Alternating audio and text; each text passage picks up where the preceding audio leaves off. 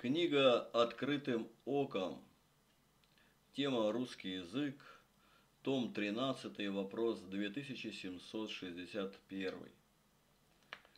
Когда вы начинали хлопотать о чтении библейских текстов по-русски за богослужением, то на вас нападали, обвиняя в расколе. Теперь эти люди признали ли свои обвинения вас в расколе ошибочными? Отвечает Игнатий Тихонович Лапкин. Не признали, а сами, быть может, впали в раскол. Вот только одна публикация из журнала РПЦЗ. Прошло 9 лет, и автор Тимофей Алферов уже не с синодом, за который так ратовал. И именно его числят теперь синодалы раскольником, а не нас – а мы как были с Синодом, так и остались. Да и доводы у него даже не, смешни, не смешные, а насмешливо циничные над темной массой. Разве рожденный свыше человек, движимый Духом Божьим, может так издевательски относиться к душам прихожан – которые не понимают произносимых в храме слов. Вот как выглядела тогда их публикация по дискредитации меня в первую очередь, что не красной нитью, а кровавой веревкой через всю Тимофееву статью натянута. Сколько бы ни изощрялись в обмане душ, помраченных непонятностью, а все остается той же версте погибельный ров, отделяющий разум от слышания слов Божьих. И такие иностранцы вопят, чтобы их слушали, внимали их заклинаниям, чтобы, что быть тупым и темным очень даже полезно. 1 Коринфянам 14.11 Но если я не разумею значения слов – то я для говорящего чужестранец, и говорящий для меня чужестранец. Город Ишим при освященному Евтихию. Цитата. Наша крестовоздвиженская община города Барнаула на общем собрании единогласно постановила просить вашего святительского разрешения – и благословения читать при богослужениях на русском языке по синодальному переводу Библии 1876 года все паримии, псалмы Давида, Евангелия и апостол. Подобная просьба наша вызвана тем, что наша община в подавляющем большинстве состоит из молодых людей, пришедших к Богу принявших сознательное святое крещение и ставших членами нашей общины, придя из неверующих семей, в полном смысле от тяжкой тьмы атеизма, кришнаитства к свету православия, и церковнославянский язык нам непонятен. Мы горячо желаем, чтобы слова, приведенные ниже, воплотились в наших общинах. Есть вещи крайне нужные, говорит Феофан Затворник о переводе службы на русский язык. Разумею новый, упрощенный и уясненный перевод церковно-богослужебных книг. Наши церковные песнопения все назидательны, глубокомысленны и возвышенны.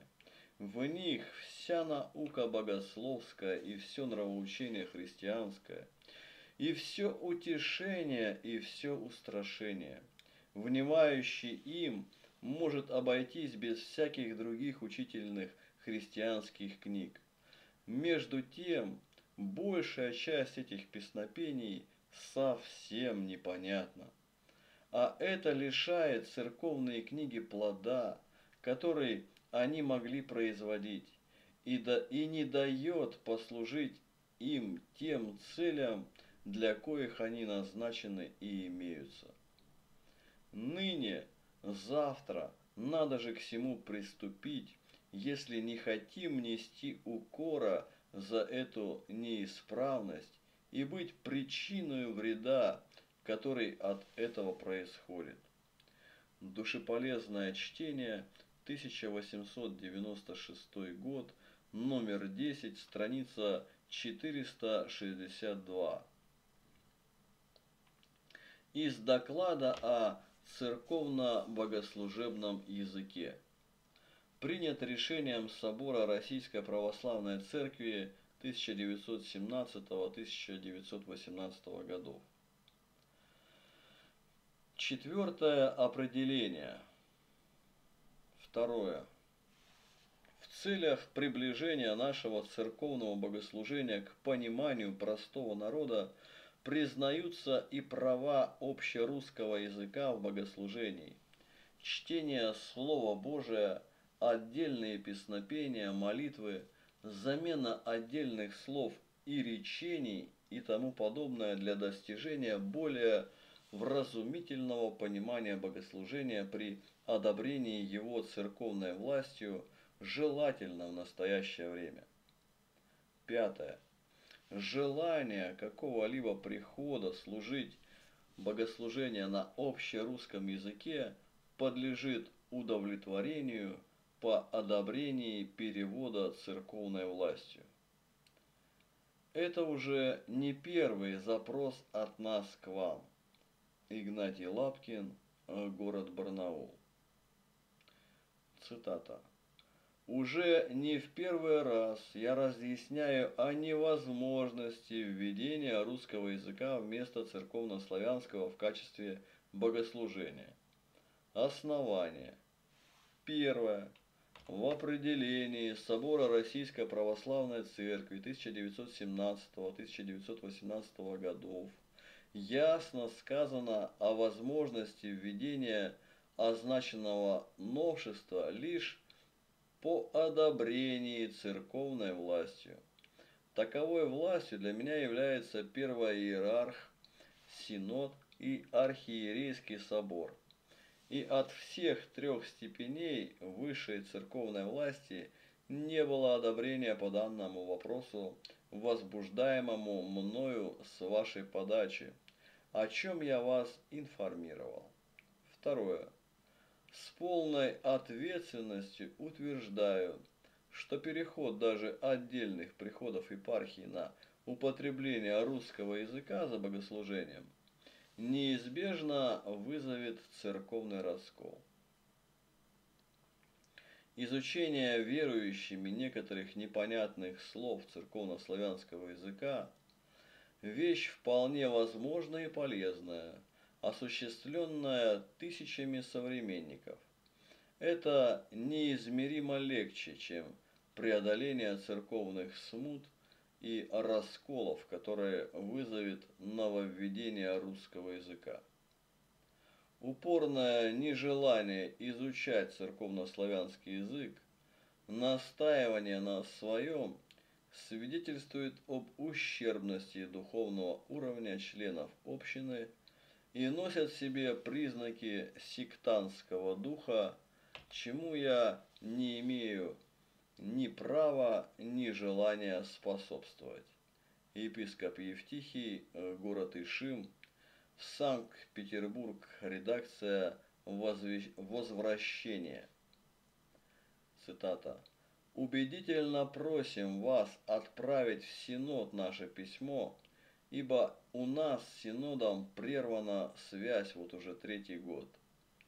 Не знаем, кто в этом виновен. Игнатий Лапкин, город Барнаул Алтайского края. Священный Синод – Русская Православная Церкви за границей. Высокопреосвященный владыка митрополит Виталий. Просим во имя Христа дать нашим двум общинам Крестовоздвиженская в Барнауле и Свято-Анфимовская в поселке Потеряевка, окормляемым протоиереем отцом Иоакимом Лапкиным – разрешение на чтение при богослужении на русском языке псалмов Давида, Паримий, Апостола и Евангелия по синодальному переводу 1876 года.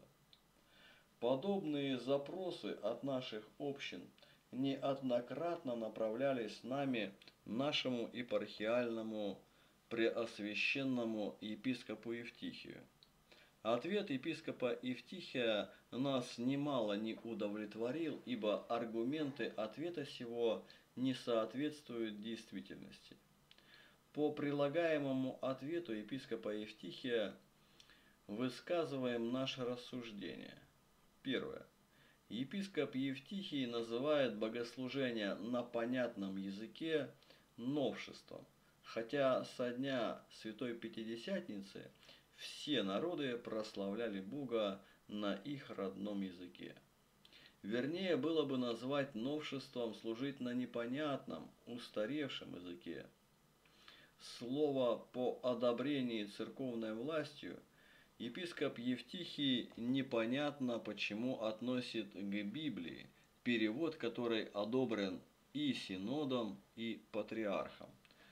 Слово «по одобрении» по контексту решений собора 1917-1918 года относится только к новому переводу текста богослужебных книг и притом только к тому переводу, который еще не одобрен церковной властью.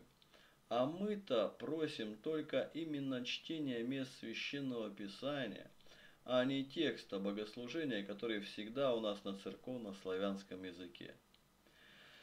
Так как перед первоиерархом, синодом и собором этот вопрос епископом Евтихием был неверно поставлен – то и ответ всеми тремя степенями высшей иерархии, если, бы, если и был дан, то не на наш запрос. Повторяем, мы просим письменного официального разрешения на чтение при богослужении только псалтири, Евангелия, апостола и паримий по Библии синодального издания перевода 1000 876 года. Второе. Епископ Евтихий утверждает, цитата, с полной ответственностью, что переход даже отдельных приходов епархии на употребление русского языка за богослужением, цитата, неизбежно вызовет церковный раскол. Мы же считаем, что пугать никогда и нигде не бывшим расколом по такому поводу за всю историю церкви нельзя. Подобный раскол можно было бы вообразить, если бы в общине были желающие вести богослужение на церковно-славянском и на великорусском языках. Но если в общине все до единого и священнослужитель умоляют, просят, молят – разрешить на родном языке вести не богослужение, а читать библейские тексты, перевод которых многократно одобрен и дореволюционным синодом, и патриархией, и за границей печатают Библии синодального перевода, то пугать мифическим расколом некого. Дорогие наши архипастыри – пришлите нам ваш ответ. И если он будет отрицательным, мы обратимся с нашей мольбой к собору архиерейскому. Да услышит нас Бог и Матерь Божья. С искренней любовью к вам, настоятель протоиерей Иаким Лапкин, староста Игнатий Лапкин, церковно-приходской совет, Янчук, Яковлев, Бауэр. От редакции. Цитата. В 60-е и 70-е годы я жила на Алтае. Училась в Барнаульском педагогическом институте на филологическом факультете. Там и получила первые уроки старославянского языка. И хотя большим усердием в постижении, цитата, «ненужного», как мы тогда считали языка, не отличалась, но именно те уроки дали мне возможность свободно читать церковно-славянские тексты уже в церкви. Думается, и сейчас в институте вряд ли откажут настойчивым собратьям миссионера Лапкина в изучении этого непонятного им языка. Посылали мы в деревню Потеряевку и в Барнаул буквари церковнославянского языка. Дальше в нашей подборке читатель сможет найти статью «Три года с букварем», в которой учитель рассказывает об опыте работы с городскими детьми, усвоившими без особых усилий непонятный язык. В Потеряевке букварь остался невостребованным. А ведь Лапкин миссионерствует не среди диких племен, а в цивилизованном месте, в университете. Члены общины познали запутанную и неблизкую российскому духу идеологию кришнаитства. Эти страстные послания против церковного, против церковного языка набраны на компьютере, тоже вещь не такая уж простая для темного разума. Все можем пытливым умом, но с церковно-славянским возникла проблема. Может ли быть такое? Из далекого Якутска пришло письмо.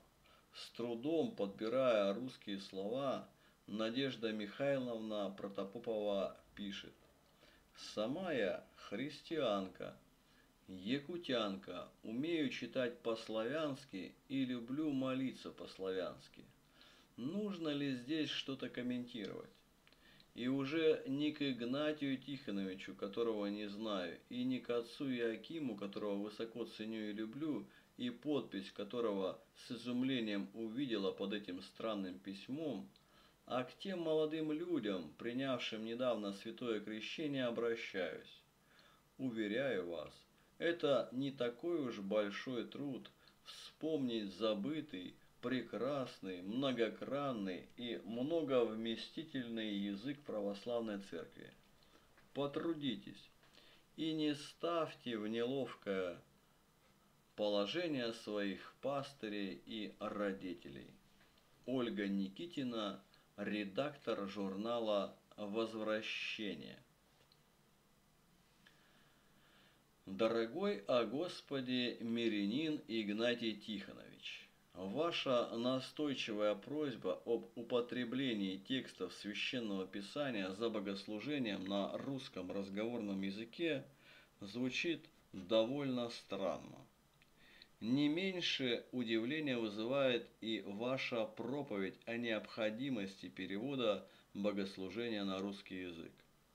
Это все было бы понятно в устах священников-модернистов из Московской Патриархии, таких как Борисов, Чистяков, Кочетков, Балашов, которые стоят за ревизию всего православного благочестия.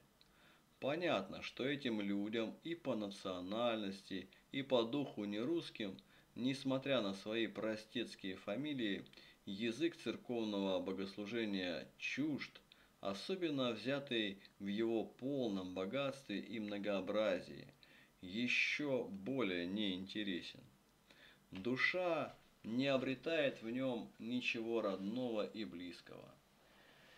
Их как раз таки легко понять. Представьте себе, что волею судеб нам пришлось бы преподавать в Израиле Тору или в Персии Коран, да еще и на языке первоисточника – нас, среди прочего, очень раздражал бы непонятный язык, как раздражает ныне церковнославянский патриархийных модернистов. Но вы-то, Игнатий Тихонович, вроде не их числа.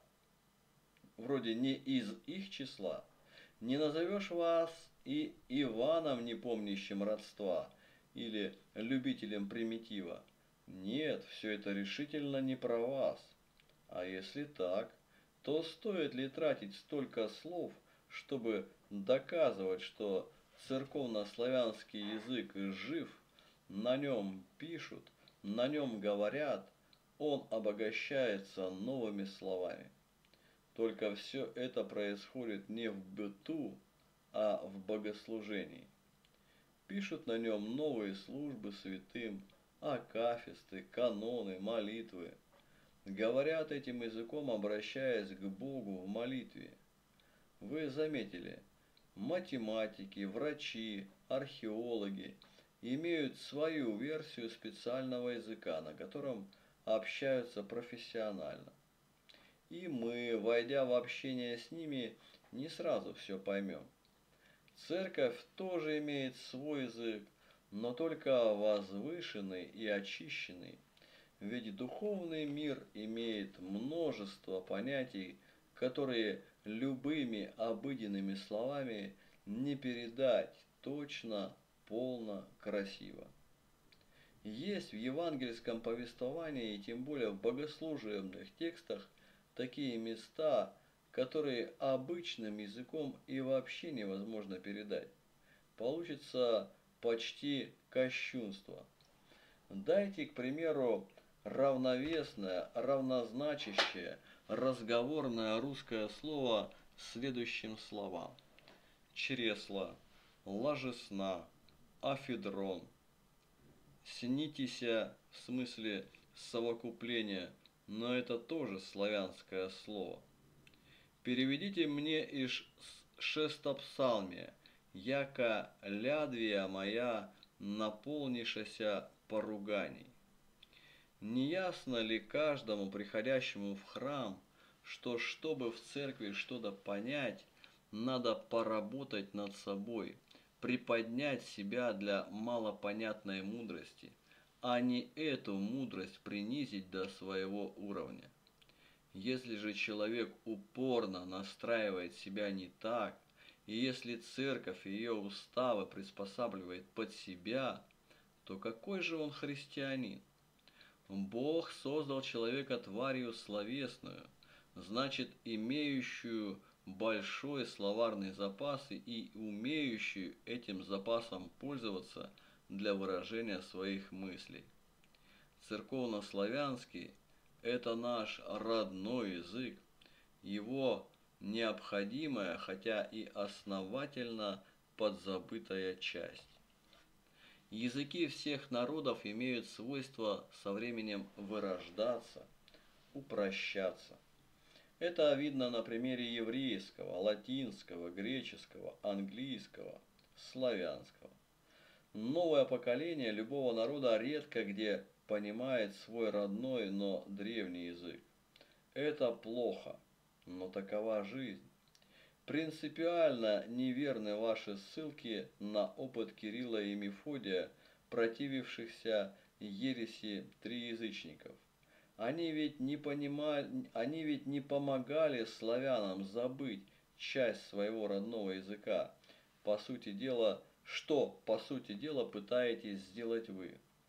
Более того, они создали особую версию славянско славянского церковный язык, обогатив его многими греческими буквами. Сравнивали, сравнивали ли вы когда-нибудь язык, цитата, повести временных лет или слово о полку Игореве с церковным языком? Заметили ли разницу? Уже тогда древнерусский разговорный язык отличался от церковного, хотя церковный был всем понятен. Вот и нам с вами сейчас необходимо восполнить у себя самих и у тех, кто попросит нашей помощи, этот большой пробел в церковной культуре, в церковном благочестии, пробел языковой – Полюбите сами славянскую речь, и все ваши слушатели ее полюбят и перестанут единогласно подписывать Синоду свои неуместные послания. Свидетельствую вам из опыта. Практически всякого прихожанина можно и должно приобщать к родному, богатому языку церкви святых апостолов. Прочитайте людям Евангелие, апостол. Переведите так и сяк непонятное слово. Разъясните грамматические обороты. И вся древняя речь вдруг засверкает перед вами, зазвенит и заиграет, и все ваши слушатели почувствуют и полюбят ее поэзию, поймут, что она родная и близкая. Но простите за откровенность, дорогой Игнатий Тихонович. Я все-таки не верю, что вам так уж нужен разговорный язык богослужений. Тут нечто другое. А что? В какой-то мере ответ можно отыскать в вашей статье о благовестии, где вы доказываете права мирян на это дело.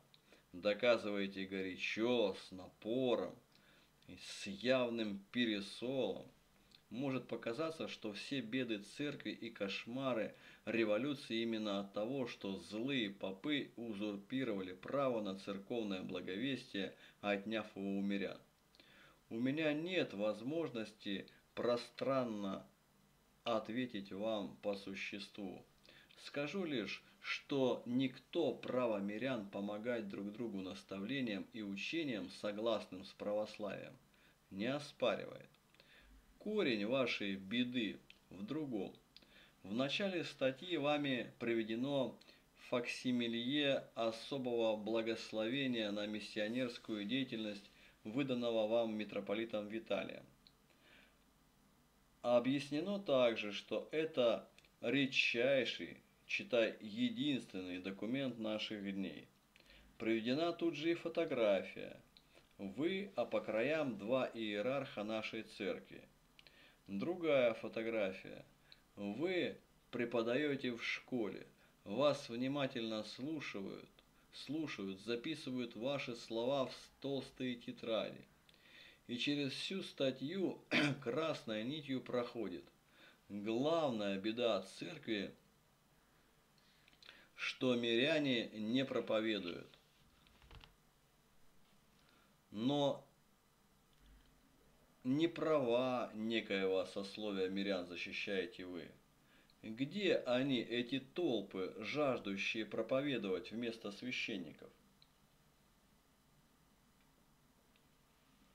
Ведь э, всем ведь очевидно из текста, а еще более из иллюстраций, что это все о вас, ваших правах исключительность вашего положения как мирянина-проповедника, подчеркнутая вами нарочито, призвана указать любому читателю и слушателю, вот кого надо слушать, если хочешь услышать что-то нетривиальное. Но если бы даже священник или епископ с кафедры в таком тоне произнес свою первую речь, можно было бы сразу сказать «Уклоняйтесь от такого оратора», ибо он прежде всего желает проповедовать себя в противоположность известным словам апостола. Не себя проповедуем. Благовестие благовествует, а не отстаивает свое право благовествовать. Вот вы почему-то взялись за богослужебный язык, добиваетесь хотя бы малого, позволения пока лишь читать священное писание за богослужением по-русски. Но это как раз менее всего необходимо. На апостольское и евангельское чтение обычно произносятся проповеди. И эти тексты больше всего всем знакомы. Чем объяснить эту нелогичность? Только одним – желанием во что бы то ни стало настоять на своем. Протарить тропу рядом с торной дорогой – но тропу свою. Отвергает ваш епископ ваши притязания. Пойдем дальше, напишем в Синод. Отвергнет их, конечно же, и Синод. Боюсь, что беда будет от вас и Синоду. Всех запишите в книжники и фарисеи. Хорошо, если этим и кончится. А в общем-то, это не так уж важно – Напишем мы что-то или добьемся чего-то своего, не так уж важно. Но многие простецы нас с вами уважают. А, не так уж важно, что многие простецы нас с вами уважают. Мало ли, к каким лжецам склонно прислушивался толпа. Мало ли, какими мы можем увлечься ошибками. Церковь истинная на земле пребудет до скончания века. А коли так, всегда найдутся в ней и авторитет повыше нашего, и ум поострее, и сердце погорячее, и дух смирения. Вот с этим и заканчиваю. Примите, прошу вас, со снисхождением и благосклонно. Ирей Тимофей Алферов. Возвращение номер четвертый, в скобках 8, 1996 год, страница с 29 по 32.